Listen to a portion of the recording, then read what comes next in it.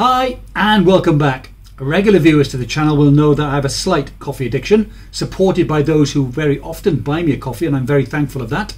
Uh, I drink coffee because I do love the taste, but also there are numerous studies showing the potential health and longevity benefits of drinking coffee every day. That said, not all is rosy, according to this latest study in the coffee garden.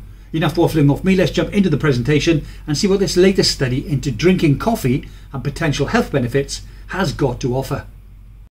This is a review of a piece I read that was penned by Dennis Thompson, where he covers a recent study out of the University of California in San Francisco that looks into the negative effects of coffee consumption on heart health and on sleep. This new study reports that your daily cup or cups of coffee may be a quick pick me up, but this pick me up comes with a mixed bag of good and not so good effects on your health. The researchers say that drinking coffee helps people stay more active, but it also significantly robs some people of sleep. And while coffee doesn't seem to cause irregular rhythms in the upper chambers of the heart, it can cause the lower chambers to skip beats, according to findings presented at the online annual meeting of the American Heart Association. Lead author Dr. Gregory Marcus, Chief of Cardiology at the University of California in San Francisco, said, People should understand that this extremely commonly consumed beverage really does have substantive effects on our health and they're variable.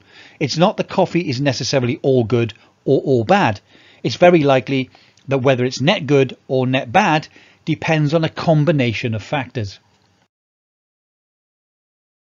Dr. Sana Al Khatib, a heart rhythm expert with the Duke Clinic in North Carolina, who wasn't involved in the study, said a very common question we get almost every week from patients is Can I drink coffee?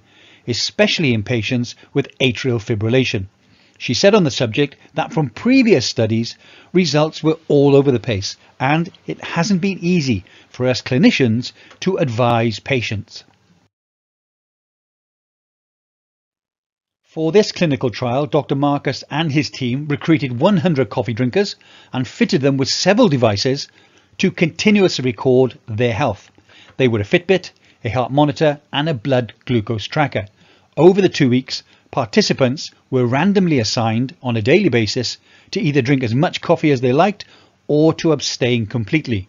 The researchers then tracked the changes for each person and between people that occurred when they were either exposed to coffee or they went without.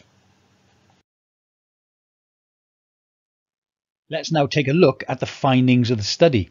The study found no evidence that coffee consumption created any irregular rhythms within the atria, that's the upper chambers of the heart. That's good news, since one of the major medical concerns about coffee has been whether it might promote atrial fibrillation, a potentially dangerous condition. But they did find that coffee consumption could cause the ventricles, those are lower chambers of the heart, to skip beats. Dr. Marcus said, on days randomly assigned to coffee, people exhibited about 50% more premature ventricular contractions, PVCs, more early beats arising from the lower chambers of the heart. Those who consume more than a drink of coffee exhibited essentially a doubling of their PVC counts. My comment is it's not clear from this statement what a drink of coffee is. Does it mean one cup or does it mean more than one cup? Dr. Gregory added, These PVCs are common and are usually regarded as harmless. We all have them once in a while and generally they're considered benign. But we and others have shown that more PVCs are an independent risk factor for heart failure over time. Not everyone with more PVCs has heart failure, but it is a factor. My comment here, not everyone with more PVCs has heart failure, but what is the number of those that do? Is it significantly relevant or just a factor? Coffee also has dramatic effects on two other major health factors, those being physical activity and sleep. Dr. Marcus said on days they were randomly assigned to drink coffee, participants on average took about 1,000 more steps than they normally would. for every additional cup of coffee drink consumed, there was an additional 500 steps. My comment here, another 500 steps is a good thing. And if you look at the calories, there's only around two calories per cup of black coffee. So again, is that really a bad thing? On the other hand, coffee tended to rob people of sleep, Dr. Marcus said. On days randomly assigned to coffee, people slept on average about half an hour less that evening. For every additional cup of coffee, there was about 80 minutes less sleep. My comment is, this isn't really new information and can be easily countered by drinking decaf after 11 o'clock or maybe midday. If you're caffeine sensitive, then drink decaf all day. But people who were genetically inclined to metabolize coffee more quickly did not exhibit any significant relationship between their coffee consumption and sleep deprivation. Dr. Sana Al Khatib said the study was well done, but she sees a need for follow up research involving more patients over a longer time to see if coffee's immediate effects eventually lead to increased risk for heart disease, stroke, and other health problems. So let's take a look at the cohort. Participants in this study were relatively young and healthy, with an average age of 38 and an average BMI on the high end of healthy. Dr. Sana commented that this is not typical of the patient population we see in clinical practice, who are older and have one or more health problems. Dr. Marcus added, So, if you're concerned about the effects of coffee on your health, you should probably talk with your doctor.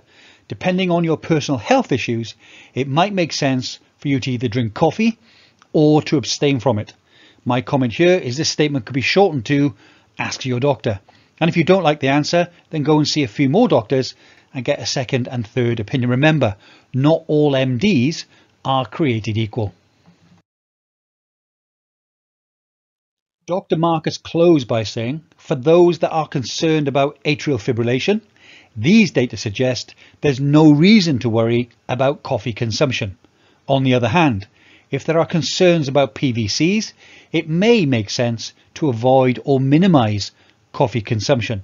If there's a goal to increase or maintain physical activity, then coffee may be helpful. But for those who have difficulty sleeping, then the sleep disruption caused by coffee may make it less worth it. Despite her reservations, Dr. Al Khatib plans to use this study when counselling patients. She said, I wouldn't think of these results as, oh, okay, great, so what? Let's wait for the next study. I will incorporate those findings into my discussions with patients. Of course, after I've read the full paper and assuming there are no surprises.